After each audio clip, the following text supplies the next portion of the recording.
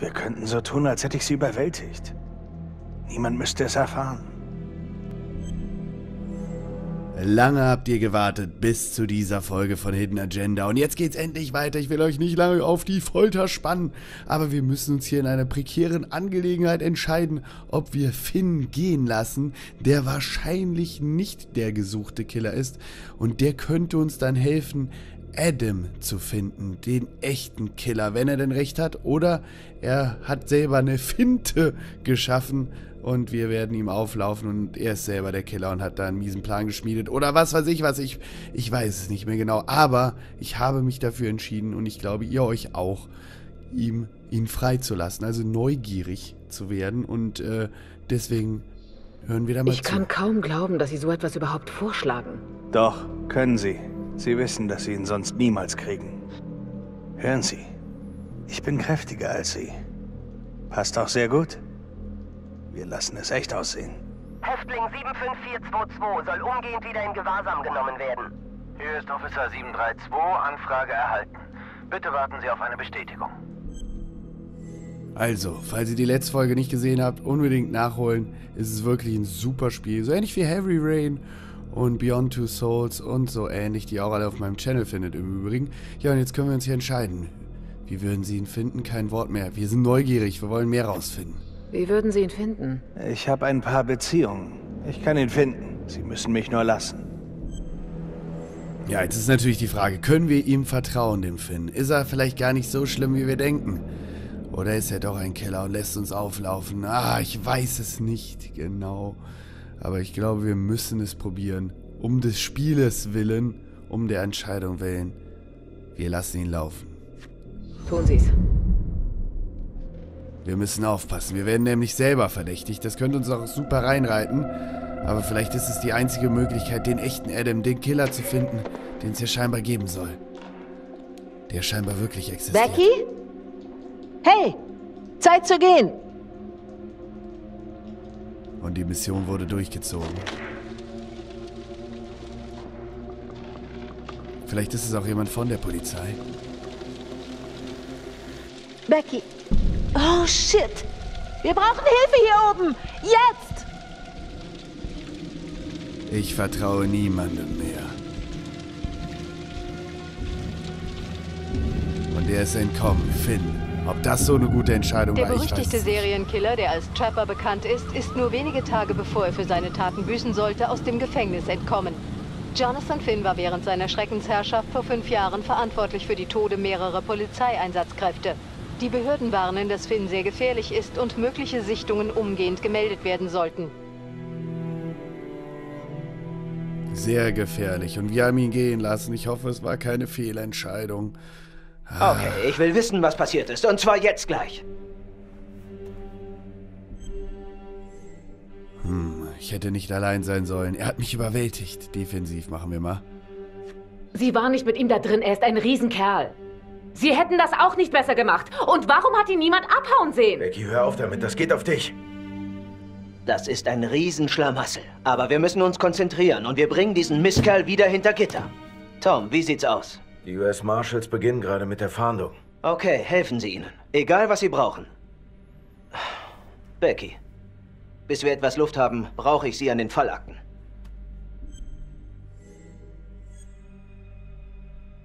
Wir bleiben höflich. Auf jeden Fall. Okay, ich setze mich gleich dran. Also,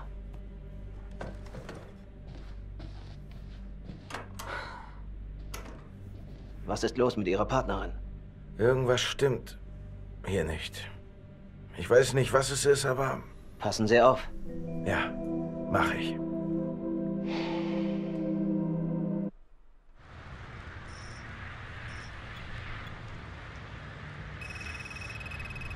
Morddezernat. Eine Stunde seit Finns Flucht.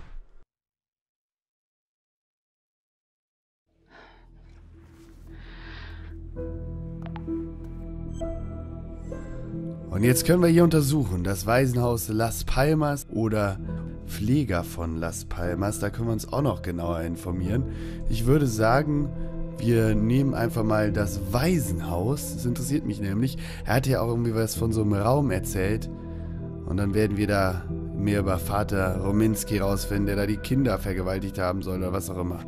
Wenn die Morde verknüpft sind mit dem Las Palmas Waisenhaus, steht Vater Rominski im Mittelpunkt des Ganzen. Einfach zu schade, dass der Rest des Klerus ein Schweigegelübde abgelegt hat, sobald es haarig für ihn wurde. Aber Finn sagte Felicity, dass Rominski damals eine Art Geheimraum in dem Waisenhaus hatte. Konnte dazu in den Polizeiberichten nichts finden. Ich glaube, ich sollte mich selbst mal nach Las Palmas begeben und umsehen. Genau das machen wir. Das ist eine gute Idee. Ob wir da was finden? Waisenhaus Las Palmas. 14.47 Uhr.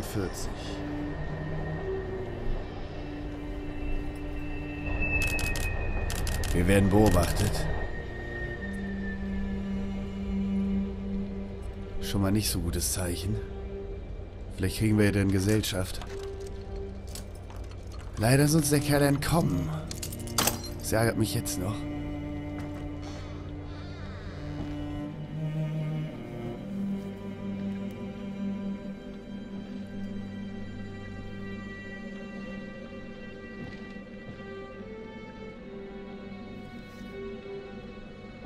Schon länger niemand hier gewesen. Und das ist das Waisenhaus, wo Finn und Adam drin gesteckt haben sollen. Das Waisenhaus des Schreckens. In denen schrecklich Sachen gemacht wurden und das hat dafür gesorgt, dass Adam zum Killer wurde. Oder Finn ist vielleicht ja auch mit einer multiplen Persönlichkeit behaftet. Hatte ich ja auch schon überlegt. Es gibt viele Theorien. Aber jetzt sind wir hier drin. Vielleicht finden wir hier Spuren, weitere Antworten.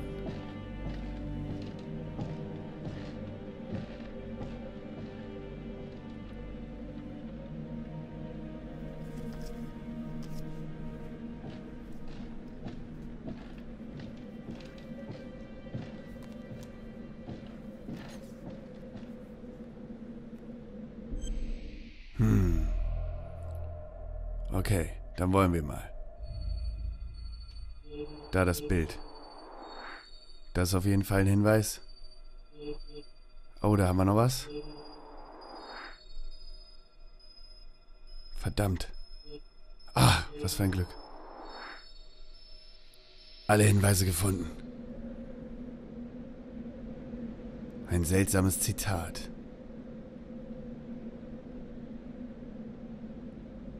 Und ein Bild. Sind das die Jungs? Ich weiß es nicht. Oder welche Jungs das sein sollen. Im Waisenhaus natürlich schwierig zu sagen. Ein lockeres Brett.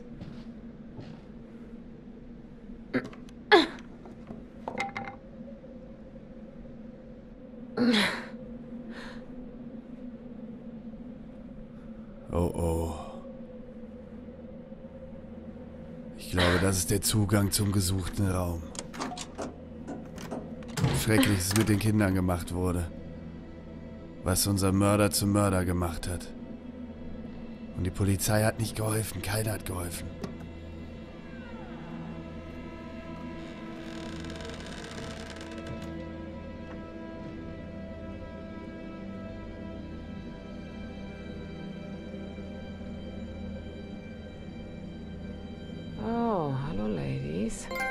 War Vater Rominski wohl ein ziemlicher Stammkunde. Passt ins Bild. Wow.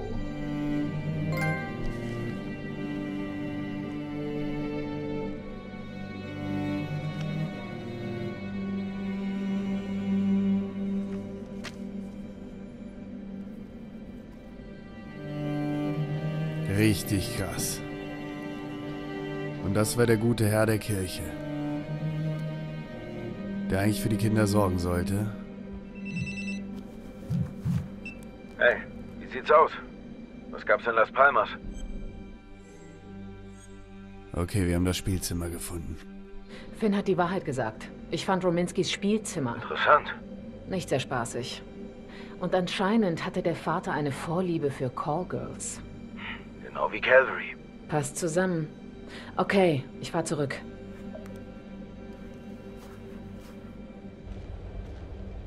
Ja, ja. Je nachdem müssen Pfarrer ja auch ein Zölibat ablegen und dementsprechend dürfen sie gar keinen Sex haben, aber das hängt von der Auslegung der christlichen Form der Religion ab. Detective Morley? Bin unterwegs zu Simon Hillary. Zu seinem Haus? Um die Zeit? Ja. Ich glaube langsam, es gibt eine Verbindung zwischen den Prostituierten und den Trapper-Morden. Hillary könnte noch weitere forensische Beweise haben. Seien Sie behutsam, okay? Das Feuerwerk heute früh hat ihn ziemlich geschockt. Es sind nur ein paar Fragen. Dauert nicht lang. Hillarys Wohnsitz. Oh. Vier Stunden seit Finns Flucht. Detective Marney. Hallo. Entschuldigen Sie die Störung. Bitte. Herein.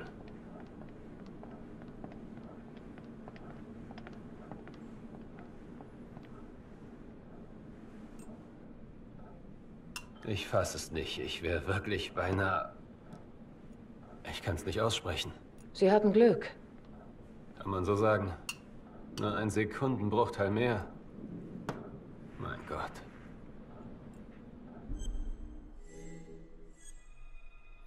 Wenigstens sind sie am Leben. War es der Trapper? Ja, der hat ja Glück mit der Bombe, der Bursche. Ah. Sie kennen die alten Fallen des Trappers. Passt das zusammen? Derselbe? Ja, ich denke, es ist der gleiche Trapper. Wieso denn? Diese... Die Bombe in seiner Nase kann man nicht anders beschreiben als, naja, kunstvoll. Meisterhaft sogar. Erinnern Sie sich an Las Palmas? Das zum Waisenhaus. Der Fall von vor ein paar Jahren. Abscheulich. Ja. Ja, wir forschen etwas nach. Der Vater dort, Rominski, schien einen Hang zu Bordsteinschwalben zu haben. Und das erinnert doch sehr stark an den Calvary-Fall. Und Walsh, der Bestatter. Auch ein Callgirl. In der Todesnacht. So viele Callgirls, das kann kein Zufall sein. Hm? Oder ist etwa jedermann in dieser Stadt ein Freier? Tja. Ich arbeite an einer neuen Theorie. Ist nur eine Idee, aber Sie können sicher helfen. Okay. Haben Sie irgendeinen Hinweis gefunden, dass der Mörder eine Frau sein könnte? Naja, es gab Spurenmaterial. Ja, äh, das wäre sicher möglich. Sind die Daten noch verfügbar? Natürlich, äh, die Akten wurden nach Finns Geständnis archiviert. Alles okay? Äh, bitte? Es ist wegen heute Morgen. Ich bin noch etwas aufgewühlt. Ja, Ja. klar. Damals, 2012, als wir Finn schnappten, hatte er eine Geisel. Daniela Cardinius. Ich erinnere mich. Ist sie relevant? Hm. So irgendwie alles ein bisschen eigenartig hier. Anscheinend war sie gar keine Geisel. War alles eingefädelt. Ich, ich kann's nicht fassen. Das ist doch absurd. Danielas Schwester Isabella starb vor ein paar Jahren. War hier in der Leichenhalle. Waren Sie das? War ich... Haben Sie sie untersucht? Ich... Ähm... Ich weiß nicht mehr. Tut mir leid. Ich weiß nicht, irgendwas stimmt nicht. Als hätten wir all diese sauberen kleinen Puzzleteile, aber das Bild auf der Box ergibt keinen Sinn. Ich habe das Gefühl, es geht um viel mehr als nur Jonathan Finn, oder? Ich bin mir nicht sicher, Detective. Und jetzt? Der Mord an Calvary, vielleicht hat Finn zwar was damit zu tun. Aber was, wenn jemand anderes die Strippen zieht? Jetzt fühle ich mich nicht mehr sehr sicher. Daniela ist ein weiteres Puzzleteil. Ein kleines, aber wichtiges. Finns Adam Jones hat das Feuer im Waisenhaus wohl überlebt. Arbeitete für den Bestatter, das erste Trapper-Opfer. Die Witwe hat ihn sogar auf einem Foto erkannt.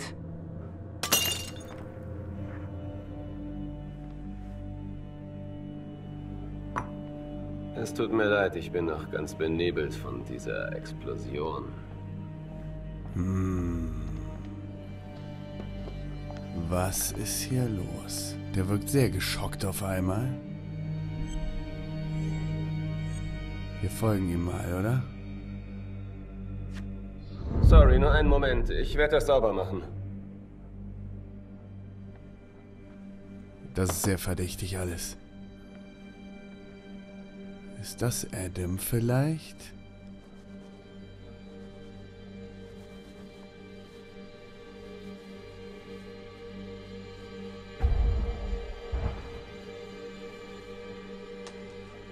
Er ist es. Wir haben ihn. Entschuldigen Sie, ich bin nur noch etwas zerstreut. Keine Sorge. Ich helfe Ihnen.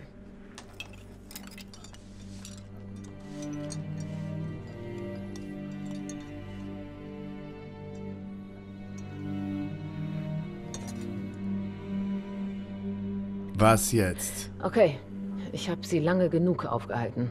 Ja, kein Problem. Wirklich. Oh, ich weiß, dass Sie die Tatortüberprüfung nicht beenden konnten. Könnten Sie vielleicht etwas übersehen haben? Naja, ich denke nicht, aber das war kein typischer Mord. Wer auch immer bei Calvary war, kannte ihn vermutlich. Ich danke Ihnen. Der ist es. 100 Prozent. Steckt zumindest da voll mit drin.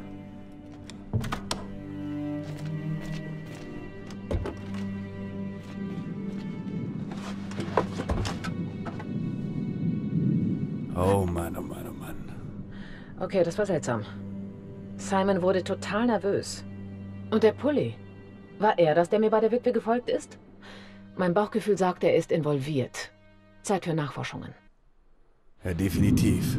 Zeit für Nachforschung. Der muss es sein. Der ist auf jeden Fall involviert. Aber wie? Das fragt sich natürlich auch.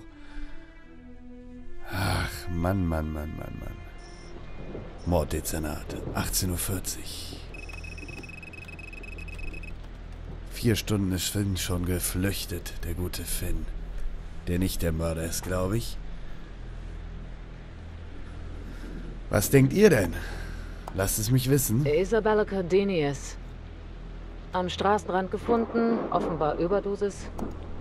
Körper zeigt Spuren langjährigen Missbrauchs. Gerichtsmediziner war Simon Hillary. Huh. Das hat er nicht erwähnt. Vielleicht wusste er nicht, dass das Daniela Cardini's Schwester war?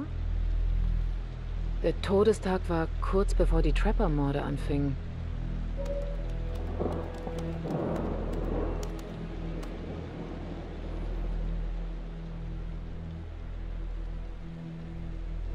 Was? Oh mein Gott. Durchaus anders.